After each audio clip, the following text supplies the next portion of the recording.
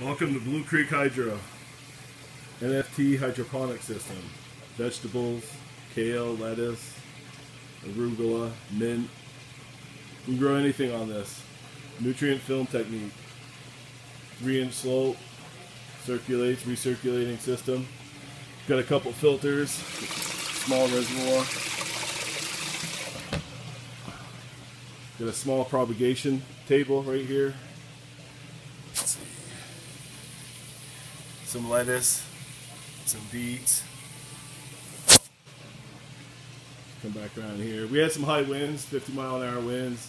Had to put some braces up in here. I recommend getting your top braces at the same time you get everything else. I thought it'd be okay for a few days, but uh, I gotta get a few more 2x4s. But overall, 60 mile an hour winds, it did pretty good. Um, you can grow a lot of food off this system. This is some celery.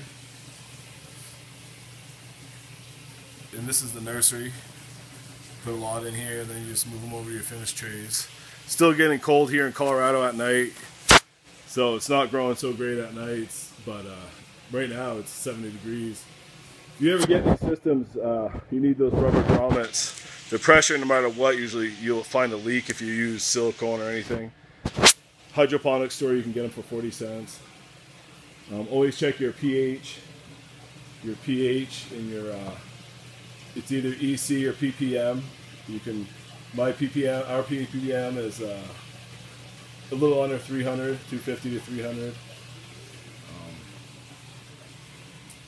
it's going pretty good. Still, we're to work on some more channels here.